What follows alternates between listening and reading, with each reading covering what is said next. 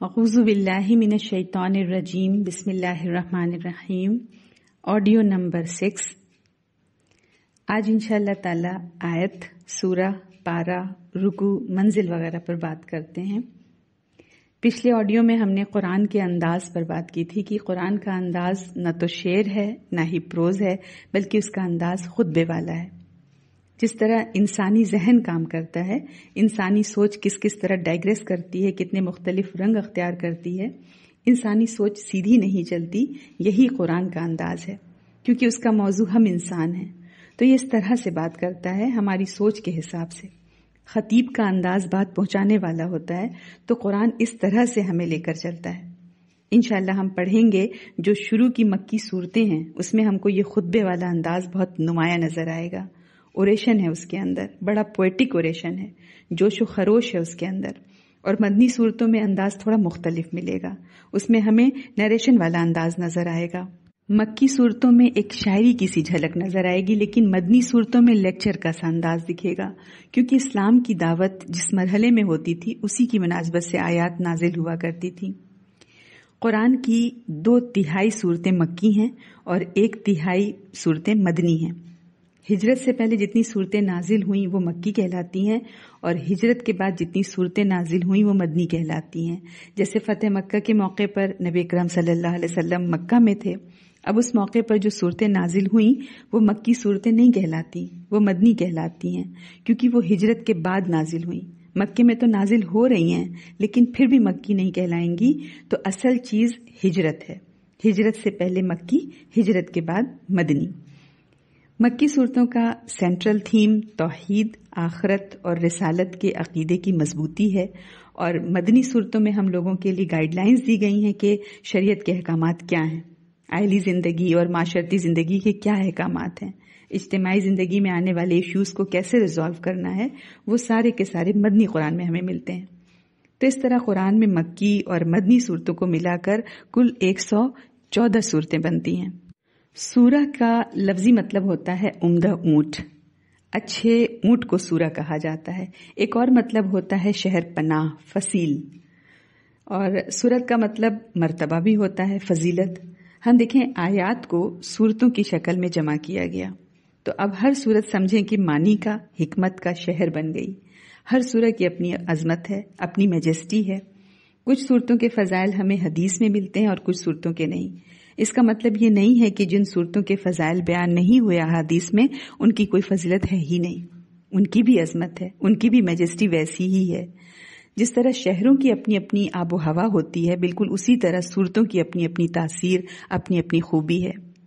हर सूरत का एक खास मिजाज है। एक खास अंदाज में बात चल रही है उन सूरतों में। हर सूरत का एक सेंट्रल थीम है।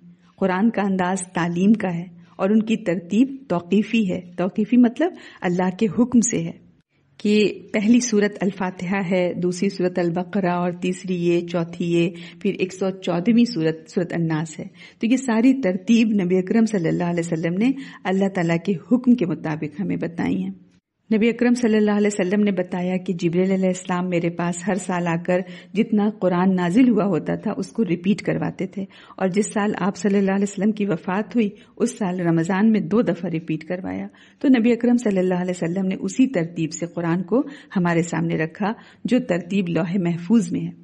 अगरचे कि यह तरतीब नजुल नहीं है, क्योंकि कुरान हालात के ऊपर नाजिल हुआ है।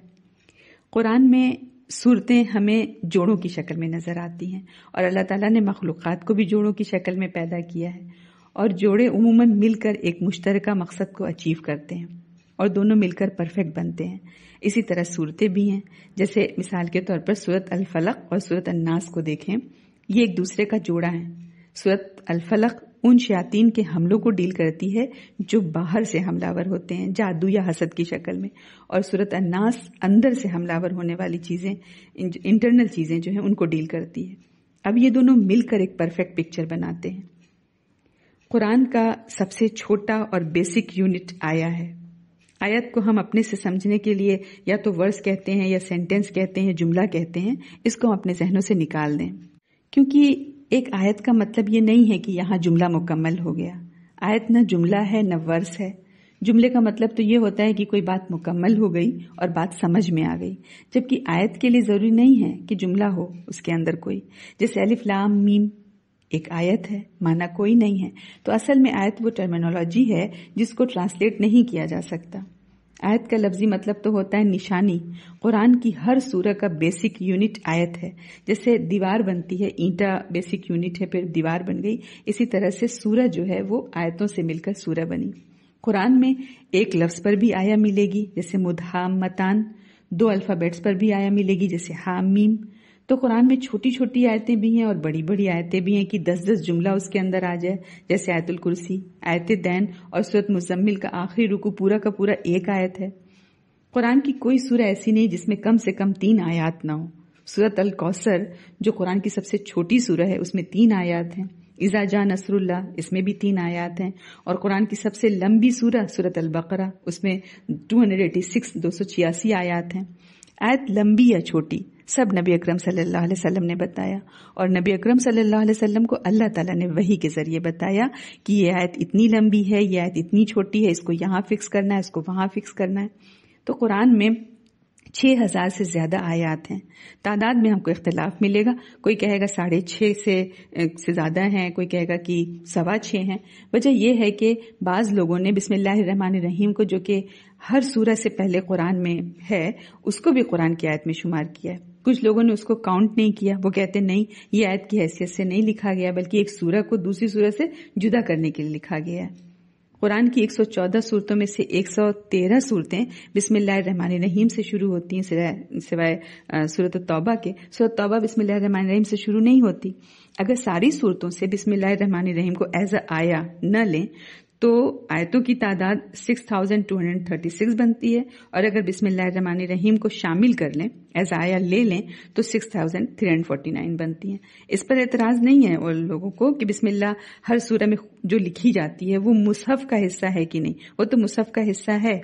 एतराज़ इस पर है कि बिस्मिल्लाह हर सूरह की पहली आया है कि नहीं है। तो हमें इनमें नहीं उलझना इंशाला ताला। अब हम देखेंगे मंजिल क्या है।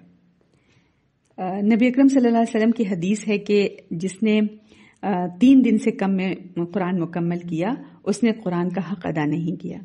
तो सहाब कराम रज़ा इस चीज़ का ध्यान देते थे, उन्होंने सात दिन के हिसाब से कुरान में मंजिलें डिसाइड कर ली, ताकि एक हफ़्ते में आसानी से कुरान मुकम्मल कर लें। तो मंजिलें नबी अकरम सल्लल्लाहु अलैहि वसल्लम ने नहीं बनाई, साहब कराम रज़ा ने बनाई। और इसी तरह से पारों का डिवीज़न जो है, वो भी नबी अकरम सल्लल्लाहु अलैहि ने नहीं बनाया। न सहाबा लोगों ने बनाया रजल्ला ने, बल्कि ताबीन के दौर में बना है। उन्होंने महीने के हिसाब से डिवीज़न तय किया कि एक दिन में एक पारा पढ़ लें और फिर तीस दिन में तीस पारा पढ़कर कुरान मुकम्मल कर लें। लेकिन ये डिवीज़न बड़ा अजीब है। ऐसा लगता है सिर्फ़ सफ़ा गिनकर इक्वली डिवीज़न कर दिया गया है। डिवीज़न के वक्त आयतों पर या मजमून पर फोकस नहीं है, बल्कि बराबर बराबर डिस्ट्रीब्यूशन और बहुत ज़्यादा बराबर भी नहीं है। लेकिन वो पेज काउंटिंग के चक्कर में उसको ध्यान नहीं दिया गया। जैसे मिसाल के तौर पर तेरहवा पारा, जिस आयत पर खत्म हो रहा है, वो सूरत अल हिज्र की पहली आयत है। यानी सूरत अल हिज्र की सिर्फ़ एक आयत लेकर पारा मुकम्मल कर लिया। बस एक लाइन, अगर उसको चौदहवें पारे में ही कर देते तो ये सूरत तो नहीं टूटती। बस एक आयत पारा तेरह में डाल दी और बाकी सूरह पारा चौदह में डाल दी। तो पारा के डिवीज़न में हमको थोड़ा सा ये अजीब सा कुछ लगता है। तब भी कोई मसला नहीं है। ये एक इंतजामी मामला है। हम अपनी सहूलत से जितना जितना पढ़ना चाहें पढ़ सकते हैं। रुकू को हम देखें वो किस लिए बनाए गए हैं। कुरान में सूरतों में जो मजामी हैं, उन मजामी को जहन में रखते हुए उनको रुकू में डिवाइड किया गया है। यानी अगर कुरान में कोई एक वाक्य डिस्कस हो रहा है या कोई एक खास मजमून डिस्कस हो रहा है तो उसको पूरा एक रुकू के अंदर लाया गया है। उसमें फिर पारों का ख्याल नहीं रखा कि अब पारा खत्म तो रुकू को ब्रेक करें। नहीं, रुकू तब तक चलता है जब तक वाक्य खत्म ना हो। बात इनकम्प्लीट नहीं छोड़ दिए बीच में। भले से पारा अपने कैलकुलेशन से खत्म हो जाए। तो आयत की तकसीम हमने सुनी, सूरह की तकसीम हमने सुनी, मंजिलों की तकसीम सुनी, पारों की तकसीम, रुकू की तकसीम सुनी। आयत की तकसीम खुद नबी अकरम सल्लल्लाहु अलैहि वसल्लम ने की। सूरतों के बारे में भी खुद नबी अकरम सल्लल्लाहु अलैहि वसल्लम ने बताया अल्लाह के हुक्म के मुताबिक। मंजिलों की तकसीम सहाब कराम रजल्ला ने की। पारों की और रुकू की तकसीम बाद के दौर में हुई। थोड़ा सा नासिक और मनसूख पर भी बात कर लेते हैं।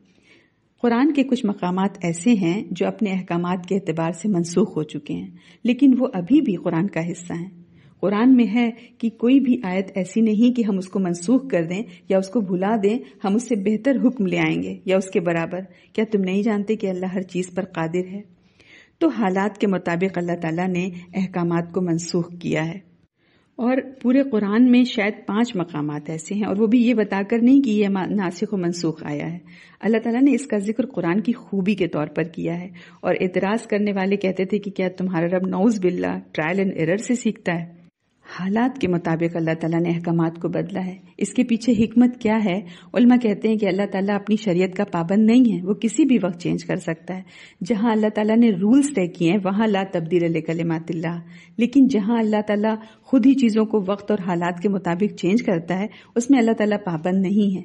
हमें उन बातों को ज़्यादा उछालने की ज़रूरत नहीं है, क्योंकि एट द एंड जो हमें दीन मिला है, वो यही स्टेब्लिश दीन है। कोई ज़रूरत नहीं है इस पर डिस्कस करने की कि शराब हराम है, पहले हलाल थी। हमें हराम बताना है। हम अपने बच्चों को बताएँगे शराब के हराम होने के बारे में, उसकी कबाहत और नहुसत के बारे में। ये बताकर क्या करेंगे कि पहले हलाल थी? तो अल्लाह ताला ने वक्त और हालात के मुताबिक चेंज किया है।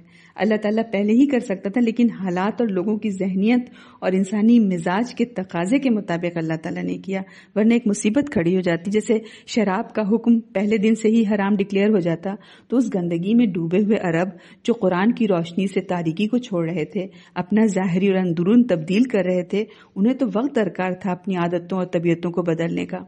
तो अचानक एकदम से शराब को हराम नहीं किया अल्लाह तला ने? उसे ग्रेजुअली किया।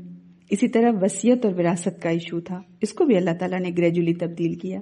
इसमें अल्लाह ताला का कसूर नौजबिल्ला नहीं है, बल्कि हालात और आदात और तबीयतों के लिहाज से अल्लाह ताला ने ये तब्दीली की है। वसलम वरहमल वर्का